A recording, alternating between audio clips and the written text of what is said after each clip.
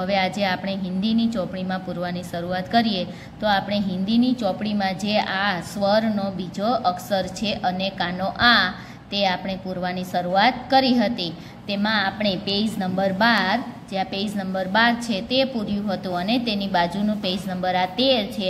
તે આપણે પૂરું કર્યું હતું પેજ નંબર બાર અને તેર. આપણે આ બે પેજ પૂરા કર્યા હતા. હવે આજે આપણે પેજ નંબર ચૌદ પૂરીશું. તો બાળકો, મેં તમને હિન્દીની ટુ લાઇન બુક બનાવવા માટે કહી હતી. તેમાં મેં તમને સ્વર, વ્યંજન આ બધું જ લખાવ્યું હતું. ત્યારબાદ કથી, સ્રના, હિન્દી અને ગુજરાતી શબ્દો. ત્યારબાદ સ્વરનો પહેલો અક્ષર અ. તેના શબ્દો લખાવ્યા હતા અને બીજો અક્ષર છે આ આ. અને કાનો આ. તેના પણ મેં તમને હિન્દી શબ્દનું ગુજરાતી લખાવ્યું હતું. તો હવે બાળકો, આપણે આગળ પૂરવાની, ચોપડીમાં આગળ પૂરવાની શરૂઆત કરીએ. તો જુઓ અહીંયા પેજ નંબર ચૌદ ઉપર આપણને સૂચના આપી છે, ચિત્ર દેખો ઓર વર્ણો કા ઉપયોગ કરકે શબ્દ બનાવો. ચિત્રને જોવાનું છે અને અક્ષરોનો ઉપયોગ કરીને પછી શબ્દ બનાવવાનો છે. તો જુઓ, આ ચિત્ર શેનું છે? તો કે આપણે ઘરમાં આ વસ્તુ આ ચિત્ર જોતા જ હોઈએ છીએ. આનું નામ છે તાળું. તો તાળાને આપણે હિન્દીમાં કહેવાય તાલા. તો અહીંયા આપણે લખીશું કે તને કાનો તા અને બીજા બોક્સમાં લખવાનું છે લને કાનો લા. તાલા. ત્યારબાદ સ ચિત્ર આપ્યું છે માળાનું. શેનું ચિત્ર આપ્યું છે? માળા જે આપણે ભગવાનની માળા હાથમાં રાખીને ફેરવતા હોય તે માળાનું ચિત્ર આપ્યું છે. તો માળાને હિન્દીમાં શું કહેવાય? તો કે માલા. તો પહેલા બોક્સમાં લખીશું આપણે મા અને બીજા બોક્સમાં લખવાનું છે લા. તો અહીંયા આપણે લખીએ, મને કાનો મા અને લને કાનો લા. માલા. ત્યારબાદ જુઓ, અહીંયા ચિત્ર આપ્યું છે. તમે આ ચિત્ર, આ રમકડું છે તે જોયું છે, તો આને કહેવાય વાજુ. આપણે આ વાજુ છે તે હોઠ પર રાખીને પછી વગાડવાનું હોય છે. હોઠની મદદથી વગાડવાનું હોય છે, તેને કહેવાય વાજુ. તો તેને આપણે હિન્દીમાં શું કહેવાય? તો કે બાજા. તો અહીંયા આપણે લખીશું, બને કાનો બા અને બીજા બોક્સમાં, જને કાનો જા, બાજા. ત્યારબાદ અહીંયા ચિત્ર આપ્યું છે. તે ચિત્ર છે વાદળનું. શેનું ચિત્ર છે? વાદળનું ચિત્ર છે. તો વાદળને હિન્દીમાં કહેવાય બાદલ. તો અહીંયા આપણે પહેલાં બોક્સમાં લખવાનું છે બને કાનો બા. બીજા બોક્સમાં આવી રીતે દ અને ત્રીજા બોક્સમાં લખીશું લ. બાદલ. ત્યારબાદ અહીંયા આપ્યું છે દાડમ. શું આપ્યું છે? દાડમ. તો દાડમને હિન્દીમાં શું કહેવાય? તો તે ત્રણ અક્ષર આવે છે, ત્રણ બોક્સ આપેલા છે, માટે ત્રણ અક્ષર આવતા હશે. તો તેને કહેવાય અનાર. તો પહેલા બોક્સમાં આપણે લખીશું અ, બીજા બોક્સમાં ના અને ત્રીજા બોક્સમાં ર. અનાર. ત્યારબાદ અહીંયા બાજુમાં પણ આપણને ઘણા ચિત્રો આપ્યા છે. તો તેમાં પહેલું ચિત્ર છે કેરીનું. તો કેરીને હિન્દીમાં શું કહેવાય? તો કે કેરીને હિન્દીમાં કહેવાય અને કાનો, આ અને મ. કેરીમાં હિન્દીને કહેવાય આમ આમ. એટલે કેરી કેરી એટલે આમ. ત્યારબાદ જુઓ, અહીંયા ચિત્ર શેનું આપ્યું છે? તો કે નાકનું ચિત્ર આપ્યું છે. આપણે જે નાક વડે શ્વાસ લઈએ છીએ, તે નાક આપ્યું છે. આપણે આ નાક વડે શ્વાસ લઈએ છીએ, ઓક્સિજન, વાયુ લઈએ છીએ. તો અહીંયા નાક છે તેને હિન્દીમાં પણ નાક જ કહેવાય. તો અહીંયા આપણે લખીશું નને કાનો ના અને ક. નાક. ત્યારબાદ જુઓ, અહીંયા રેટિયો આપેલો છે. શું આપેલું છે? રેટિયો. આમાં જે ગાંધીજી આ રેટિયાનો ઉપયોગ કરીને રૂ કાઢતા હતા, તો તેને રેટિયાને હિન્દીમાં શું કહેવાય? તો કે ચરખા. તો અહીંયા આપણે લખીશું ચ પછી ર, જુઓ બાળકો, ઉપર લીટી કરવાની ભૂલવાની નહીં, બધા જ શબ્દમાં ઉપર લીટી કરવાની રહેશે. હિન્દીમાં ઉપર લીટી કરવી ફરજિયાત છે. ચ, ર, ખા. તો આવી રીતે આપણે લખીશું ખા ચરખા ત્યારબાદ અહીંયા આપ્યો છે, એક છોકરો આપ્યો છે, છોકરાનું ચિત્ર આપ્યું છે. તો છોકરાને હિન્દીમાં શું કહેવાય? તો કે લડકા. છોકરીને હિન્દીમાં કહેવાય લડકી અને છોકરાને હિન્દીમાં કહેવાય લડકા. તો અહીંયા આપણે લખીએ લ, ડ, કા. શું કહેવાય? લ ડ કા ત્યારબાદ અહીંયા ચિત્ર આપ્યું છે. તે ચિત્ર છે ગાજરનું. તો અહીંયા આપણે બોક્સમાં લખવાનું છે ગાજર. ગાજરને ગુજરાતીમાં પણ ગાજર કહેવાય અને હિન્દીમાં પણ ગાજર જ કહેવાય. તો અહીંયા આપણે લખીશું આવી રીતે ગા, જ, ર, ગાજર. ત્યારબાદ અહીંયા આપણને ચિત્ર ઓળખી ખાના પૂરવાના છે. શું આપ્યું છે? જુઓ, અહીંયા લખ્યું છે કે ચિત્ર પહચાન કર, કોષ્ટક ભરો, ચિત્ર ઓળખી ખાના પૂરો. ચિત્રને ઓળખવાના છે અને પછી જે ખાલી ખાના આપ્યા છે તે પૂરા કરવાના છે. તો જુઓ, અહીંયા પહેલું ચિત્ર છે નાકનું અને બીજું ચિત્ર આપ્યું છે દાડમનું. તો દાડમને હિન્દીમાં કહેવાય અનાર અને નાકને હિન્દીમાં નાક જ કહેવાય. તો જુઓ, અહીંયા આપણને શબ્દ આપ્યો છે અનાર અને નાક. તો આ બંનેમાં જે ના આવે છે તે અહીંયા આપણને લખેલો જ આપ્યો છે. અહીંયા જુઓ, અહીંયા દાડમ છે. તો દાડમને શું કહેવાય? અનાર. તો અહીંયા આપણે લખીશું અ પછી ના લખેલો છે માટે તેને હવે બીજી વાર લખવાનો નથી. અ, ના, બાકી શું રહ્યું ર? તો અહીંયા આપણે લખીશું ર. તો જુઓ અહીંયા આ જે શબ્દ છે તેવો અહીંયા શબ્દ આપણે બની ગયો. અ, ના, ર. ત્યારબાદ આપણને શબ્દ આપ્યો છે નાક. તો અહીંયા નાકનું ચિત્ર છે માટે અહીંયા આપણે લખવાનું છે નાક. તો ના તો લખેલો જ આપ્યો છે. ખાલી આપણે લખવાનું છે ક. નાક.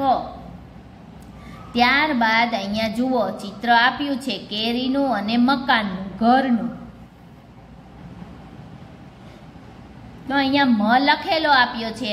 પહેલો શબ્દ છે આમ અને બીજું લખેલું છે મકાન. તેમાંથી મ છે તે અહીંયા આપણને લખેલો આપ્યો છે. બંને શબ્દનો મ અહીંયા લખેલો છે. તો અહીંયા કેરીને આમ કહેવાય. તો અહીંયા આપણે લખીશું અને કાનો આ અને મ, તો મ લખેલો છે માટે બીજી વાર લખવાનો નથી. આ મ. ત્યારબાદ શબ્દ છે મકાન, તો મ લખેલો છે. તો અહીંયાથી આપણે લખીશું કા અને અહીંયા લખીશું ન. મ કા ન ત્યારબાદ અહીંયા આપણને, જુઓ અહીંયા આપણે ઉપર ચિત્રમાં મેં તમને કીધું હતું કે આ એક જાતનું રમકડું છે, જે હોઠ પર, હોઠની મદદથી આપણે વગાડવાનું હોય છે. તેને કહેવાય બાજા અને આ છે બાદલ. તો જુઓ, અહીંયા લખેલું છે બાજા અને બાદલ. બંનેનો બા અહીંયા લખેલો છે. તો આ બાજાનો બા લખેલો છે. તો લખવાનું શું રહ્યું? જા. તો અહીંયા આપણે લખીશું જનેકાનો જા. ત્યારબાદ અહીંયા શબ્દ આપ્યો છે બા. શું લખેલું છે? બાદલ. અહીંયા બાદલ લખેલું છે. તો અહીંયા આપણે ચોખ્ઠામાં બાદલ લખવાનું. બા લખેલું છે. તો અહીંયા લખીશું દ અને અહીંયા લખવાનું છે લ. બાદલ. સમજાણું બાળકો? અહીંયા આપણે આ ત્રણ ચોખ્ઠા પૂરા કર્યા. હવે નીચેના ત્રણ ચોખ્ઠા કરીએ. ત્યારબાદ અહીંયા નીચે હવે આપણે ચિત્ર પરથી શબ્દો પૂરીએ. તો જુઓ, અહીંયા ચિત્ર આપ્યું છે ગાય અને અહીંયા આપ્યું છે નગારું. શું આપ્યું છે નગારું? તો નગારાને હિન્દીમાં કહેવાય નગાડા. તો જુઓ, અહીંયા બંનેનો જે કા કોમન અક્ષર છે તે અહીંયા લખેલો આપ્યો છે. તો અહીંયા આપણને પહેલો શબ્દ આપ્યો છે નગાડા. તો અહીંયા આપણે લખીશું, ખાનામાં ન, ગા અને ડા. શું લખવાનું છે? ન ગા ડા ત્યારબાદ લખેલું છે ગાય. તો અહીંયા આપણે લખીશું ગને કાનો ગા અને ય. ગાય. ત્યારબાદ બાજુના ચિત્રમાં આપણે જોઈએ તો જુઓ, અહીંયા ચિત્ર આપ્યું છે વાઘનું અને અહીંયા આપ્યું છે માટલું. ઘડો આપ્યો છે. તો વાઘને હિન્દીમાં કહેવાય બાઘ અને માટલાને હિન્દીમાં કહેવાય ઘડા. ઘડા એટલે માટલું અથવા ઘડો. તો અહીંયા આપણને ઘ લખેલો છે. તો અહીંયા આપણે શું લખીશું? જુઓ, અહીંયા ઘ જે પછી આવે છે તે શબ્દ પહેલાં લેવાનો. જો આ શબ્દમાં ઘ પછી આવે છે ને આ શબ્દમાં ઘ પહેલાં આવે છે, તો અહીંયા આપણે લખીશું બને કાનો બા ઘ. ત્યારબાદ લખેલું છે ઘડા. તો અહીંયા આપણે ઊભો શબ્દ લખીશું ઘ અને અહીંયા લખવાનું છે ડા. ત્યારબાદ અહીંયા જુઓ, એક રાજા આપેલો છે અને અહીંયા મદારી આપેલો છે. તો રાજાને હિન્દીમાં રાજા કહેવાય અને મદારીને હિન્દીમાં કહેવાય સપેરા. શું કહેવાય? સપેરા. તો હવે અહીંયા આપણને જુઓ, રા આપેલો જ છે લખેલો. તો અહીંયા આપણે સૌથી પહેલા શબ્દ આપ્યો છે સપેરા તો અહીંયા આપણે લખીશું સ અને એક માત્ર પે. સ, પે અને રા લખેલો છે, માટે તેને લખવાનો નથી બીજી વખત. સ, પેરા. ત્યારબાદ અહીંયા ઊભો શબ્દ લખીશું આપણે. રા. અહીંયા જુઓ, રાજા લખેલું છે, તો રા લખેલો જ આપ્યો છે, અહીંયા આપણે લખવાનું છે જા. રાજા. જુઓ અહીંયા આપણે પેજ નંબર ચૌદ પૂરું કર્યું, તો તમારે પણ બાળકો આવી જ રીતે પેજ નંબર ચૌદ પૂરું કરવું. હવે ત્યારબાદ આપણે પેજ નંબર પંદર જોઈએ. તો જુઓ અહીંયા પેજ નંબર પંદર પણ આપણને પ્રવૃત્તિ આપી છે કે ચિત્ર દેખો, ગોલા કરો ઓર શબ્દ બનાવો. શબ્દ લીખો. શું કીધું છે? ચિત્ર જોવાનું. પછી આ જે કોષ્ટક આપ્યું છે, તેમાં ગોળ રાઉન્ડ કરવાનું, ચિત્રને ઓળખવાનું અને તેનું જે નામ હોય તે આ કોષ્ટકમાંથી ગોતીને ગોળ રાઉન્ડ કરવાનું. પછી તે નામ છે તે ચિત્રની બાજુમાં લખવાનું છે. જુઓ, અહીંયા આપણને ચિત્ર આપ્યું છે દાડમ. તો દાડમને હિન્દીમાં કહેવાય અનાર. તો જુઓ, અહીંયા જે આ પહેલી લાઈન આપેલી છે તેમાં આ ત્રણ મૂળાક્ષરને આપણે ભેગા કરીએ. એટલે અનાર શબ્દ બને છે અને તેની ફરતે ગોળ રાઉન્ડ કરેલું છે.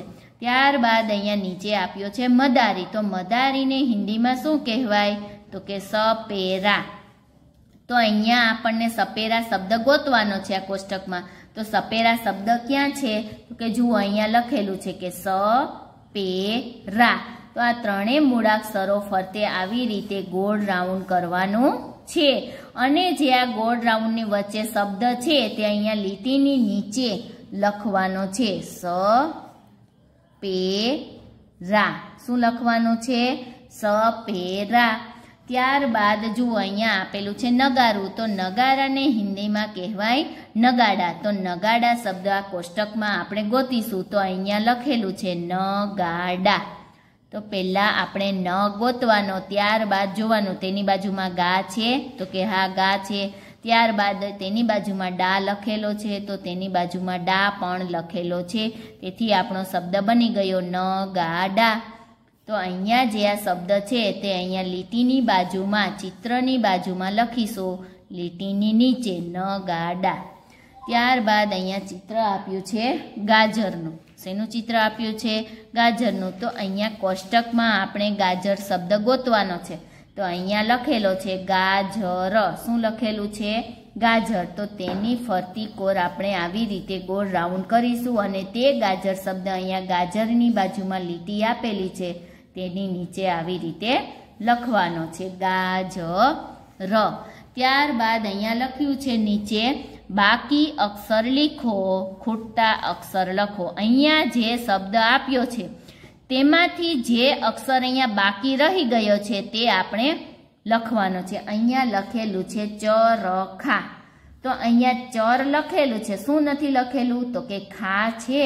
તે નથી લખ્યો, માટે અહીંયા આપણે લખીશું ખને કાનો ખા તો અહીંયા પણ આના જેવો શબ્દ બની ગયો ચરખા ત્યારબાદ નીચે આપ્યું છે, ગાજર. તો અહીંયા લખ્યું છે, ખાલી જગ્યા જર શૂન બાકી રહી ગયું છે. તો કે, ગા. તો અહીંયા આપણે આવી રીતે ગા લખીને શબ્દ પૂરો કરીશું, ગાજર. ત્યારબાદ લખ્યું છે અનાર તો અ ખાલી જગ્યા ર. શું નથી લખ્યું? તો કે નને કાનો ના નથી લખ્યો, તો તે આપણે ખાલી જગ્યામાં લખીશું. એટલે બની ગયો શબ્દ અનાર ત્યારબાદ લખ્યું છે જહાજ. જ ખાલી જગ્યા જ એવી રીતે લખેલું છે. જ ખાલી જગ્યા જ. વચ્ચેનો જે મૂળાક્ષર છે તે નથી લખ્યો. તે છે હા. તો જ, હા, જ. ત્યારબાદ અહીંયા લખેલું છે આમ. તો અહીંયા આપણને ખાલી જગ્યા આપી છે, ખાલી જગ્યા મ તો અહીંયા ખાલી જગ્યામાં શું આવશે? તો કે અને કાનો આ, આમ. ત્યારબાદ લખેલું છે કે તબલા. તો અહીંયા લખ્યું છે તબ, ખાલી જગ્યા.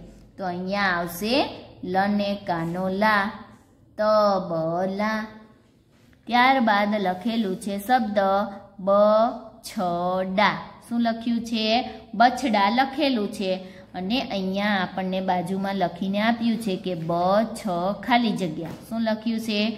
બ, છ, ખાલી જગ્યા. તો ખાલી જગ્યામાં આવશે ડને કાનો ડા. શું આવશે? ડને કાનો ડા. બ, છ, ડા. ત્યારબાદ શબ્દ આપ્યું છે ઢકના.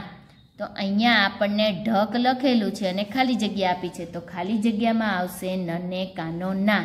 ઢકના. ત્યારબાદ અહીંયા નીચે આપણને ખાલી જગ્યા આપેલી છે. તે ખાલી જગ્યામાં ચિત્ર ઓળખીને ચિત્રનું જે નામ આવે, તે કાઉન્સમાંથી ગોતીને અહીંયા ખાલી જગ્યામાં લખવાનું છે. જુઓ, અહીંયા કીધું છે કે કાઉન્સમાંથી પસંદ, શબ્દ પસંદ કરી ખાલી જગ્યા પૂરો. અહીંયા કાઉન્સમાં આ બધા જ ચિત્રોના શબ્દ આપેલા છે. તે શબ્દ, જે સાચો શબ્દ હોય, તે ખાલી જગ્યામાં લખવાનો છે.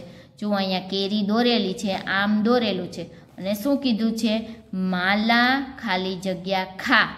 શું કીધું છે? માલા ખાલી જગ્યા ખા. તો માલાને શું ખાવાનું કીધું છે? તો કે આમ. તો અહીંયા આમ શબ્દ ક્યાં છે કોષ્ટકમાં? તો અહીંયા છેલ્લે જે શબ્દ છે, તે આમ છે. તો અહીંયા આપણે લખીશું કે આમ. ખાલી જગ્યામાં લખવાનું છે આમ. ત્યારબાદ દાડમ દોરેલું છે અને અહીંયા લખેલું છે કે આકાશ ખાલી જગ્યા લા. શું કીધું? આકાશ ખાલી જગ્યા લા. તો ખાલી જગ્યામાં આ ચિત્રનું નામ છે, તે ખાલી જગ્યામાં આવશે.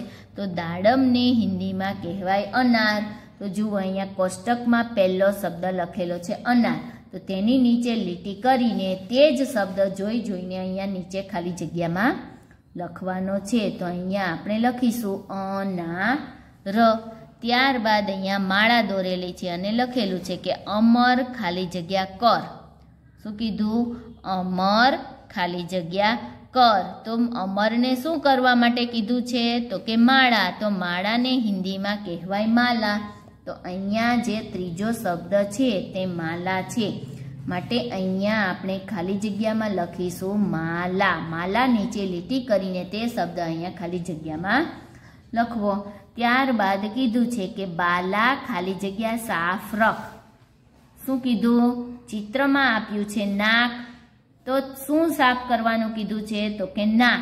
તો નાક શબ્દ અહીંયા બીજો છે. તો તે શબ્દ નીચે લીટી કરીને આપણે અહીંયા લખવાનો છે. પછી આખી ખાલી જગ્યા વાંચવી કે, માલા, નાક સાફ રખ. માલાને નાક સાફ રાખવા માટે કીધું છે.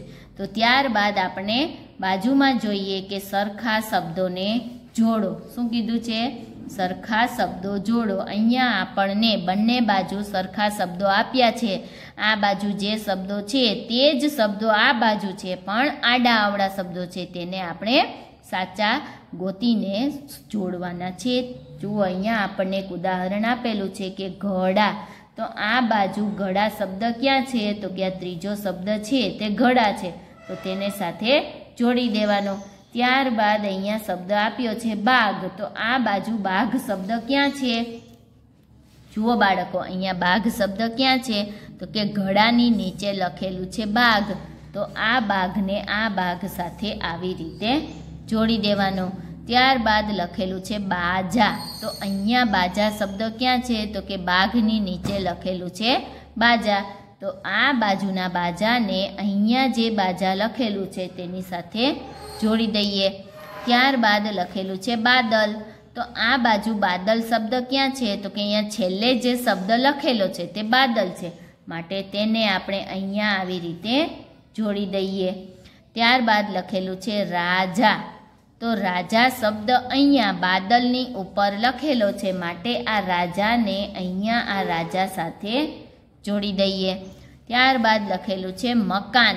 તો આ બાજુ મકાન શબ્દ ક્યાં છે? તો કે અહીંયા સૌથી પહેલો શબ્દ છે. તે કયો છે? તો કે મકાન. તો અહીંયા આપણે આવી રીતે મકાનને જોડી દઈએ. ત્યારબાદ લખેલું છે આકાશ. તો અહીંયા મકાનની નીચે બીજો શબ્દ લખેલો છે આકાશ. તો તેને આપણે આવી રીતે જોડી દીધો. જુઓ, અહીંયા આપણે ખાલી જગ્યા અને જોડકા કર્યા. ત્યારબાદ નીચે કીધું છે કે, વાક્ય વાંચો અને લખો. વાક્ય પઢો ઓર લીખો. અહીંયા વાક્ય છે તે વાંચવાનું છે અને સારા અક્ષરે આ બાજુ લખવાનું છે. તો સૌથી પહેલું વાક્ય છે તે તમને ટપકાવાળું આપ્યું છે. તે ટપકાવાળું ઘૂંટીને સરસ રીતે આવી રીતે લખવાનું છે. વાક્ય લખેલું છે કે, સરલા. પછી અલ્પ વિરામ ત્યારબાદ લખેલું છે ગાના ગા. સરલા ગાના ગા. વાક્ય લખાઈ ગયા બાદ આવી રીતે ઊભી લીટી કરવાની જેને હિન્દીમાં પૂર્ણ વિરામ કહેવાય. ત્યારબાદ બીજો શબ્દ છે આકાશ આમ ખા. શું લખેલું છે? આકાશ આમ ખા. તો તેવો જ વાક્ય આપણે અહીંયા લખીશું કે આકાશ ત્યારબાદ જો અહીંયા અલ્પ વિરામ કર્યું છે, તો આપણે પણ તેવી જ રીતે અલ્પ વિરામ કરવાનું છે. અને અહીંયા લખીશું આપણે આમ, ખા. જુઓ, બાજુમાંથી જોઈ જોઈને પછી જ લખવાનું છે. અહીંયા જુઓ, ઊભી લીટી કરી છે, જેને પૂર્ણ વિરામ કહેવાય. તો અહીંયા પણ આપણે તેવી જ રીતે ઊભી લીટી કરીશું. ત્યારબાદ ત્રીજું વાક્ય આપ્યું છે આપણને, અલકા બાદામ લા. શું કીધું છે? અલકા બાદામ લા. તો અહીંયા આપણે લખીશું કે અલકા. ત્યારબાદ નીચે અલ્પ વિરામ પછી લખવાનું છે બાદામ. લા. શું કીધું છે? અલકા બાદામ લા. ત્યારબાદ આવી રીતે પૂર્ણ વિરામ વાક્ય લખાઈ ગયા બાદ હિન્દીમાં પૂર્ણ વિરામ કરવાનું, કોઈ પણ ભાષામાં આપણે વાક્ય લખતા હોઈએ તો પૂર્ણ વિરામ કરવાનું ભૂલવાનું નહીં. ત્યારબાદ છેલ્લું વાક્ય લખેલું છે કે માલા ખાના આયા શું કીધું છે? માલા ખાના આયા તો અહીંયા આપણે લખીશું કે માલા ત્યારબાદ અલ્પ વિરામ પછી લખ્યું છે ખાના આયા. શું કીધું છે? માલા ખાના આયા. તો બાળકો, અહીંયા આપણે પેજ નંબર ચૌદ અને પેજ નંબર પંદર પૂરું કર્યું. તમારે પણ હિન્દીની ચોપડીમાં પેજ નંબર ચૌદ અને પંદર પૂરા કરવાના છે અને એકવાર આ નીચે જે ચાર વાક્યો આપ્યા છે તે રફ નોટમાં સારા અક્ષરે લખવા. નમસ્તે વિદ્યાર્થી મિત્રો.